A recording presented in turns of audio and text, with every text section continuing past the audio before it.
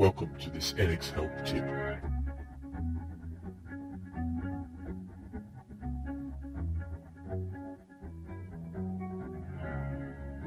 Calculating weights for assemblies is something that can be simple when you know how. Just to confirm, you do not need an advanced assemblies license to do anything shown in this video.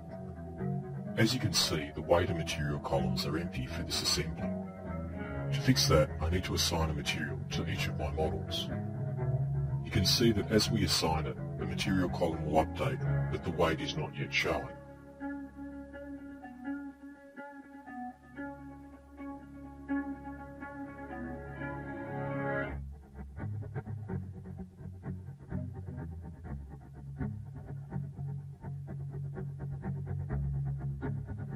Saving and also forcing a save all hasn't given us a weight for our parts.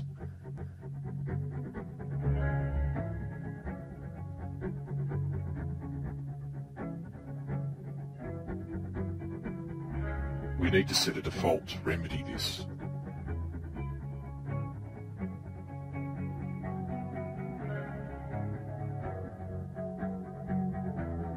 By setting the default for generating weight data to always generate, the system will now do it at save. As with setting any customer default, we need to exit and start a new session for it to apply. Now you can see that saving the part will calculate and populate the column with the weight.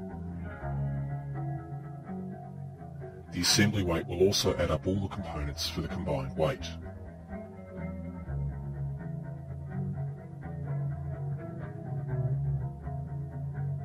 If you check the part properties, you can see the weight tab is greyed out as the license is not available, but the mass field value.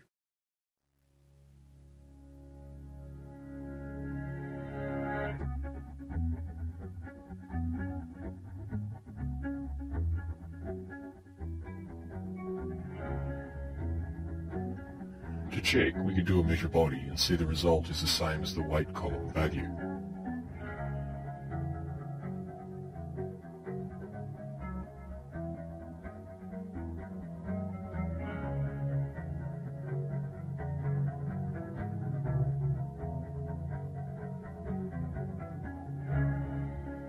Now we can demonstrate that if the model changes, what happens to the weight of the part.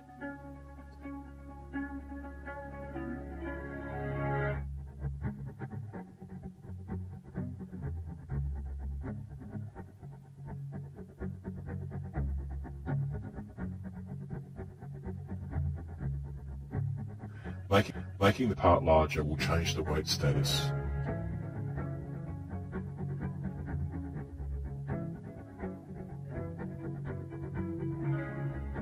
If we save the part, it then updates.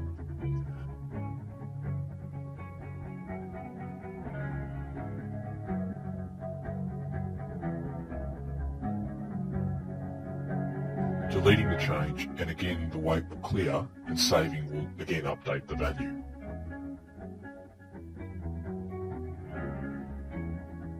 Now that you have mass values, you can look at our attributes and parts list videos to see how to use that information for drawings.